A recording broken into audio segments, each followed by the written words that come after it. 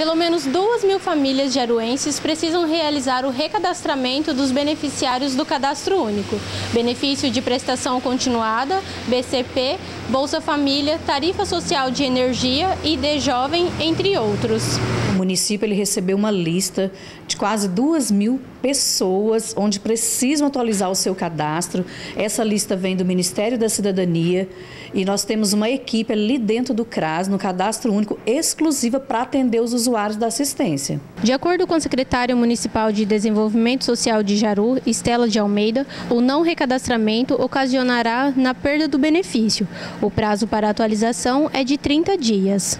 O recadastramento é uma coisa muito séria. Você que está aí, né, que está nos ouvindo agora, que está nos assistindo, você vai perder o benefício. E a assistência social no município de Jaru, através da prefeitura, nós não queremos que isso aconteça com nossos usuários.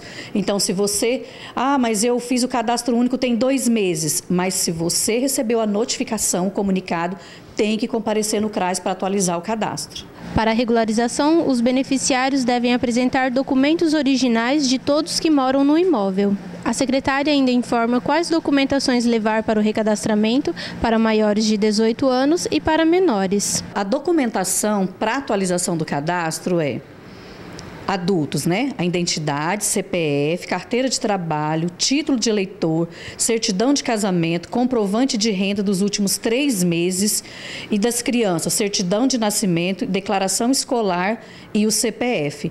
Então, esses são os documentos que a pessoa tem que estar em mãos para atualização do cadastro, principalmente o comprovante de renda dos últimos três meses. É essencial para realizar o, o, cadastro e a pessoa ficar todo kit ali para não ter o seu benefício bloqueado. Foi enviado para as famílias jaruenses uma notificação informando qual CRAS ela deve procurar. E no Centro Administrativo de Tarilândia, onde serão recadastrados moradores da área urbana do distrito, subdistrito de Jaruaru e região. Nós temos uma equipe volante, né, onde elas estão indo em todos os endereços de quase duas mil famílias. Se você já recebeu sua, o seu comunicado, compareça ao CRAS, ali está especificando se é para comparecer no CRAS 1 ou no CRAS 2, para realizar o seu recadastramento.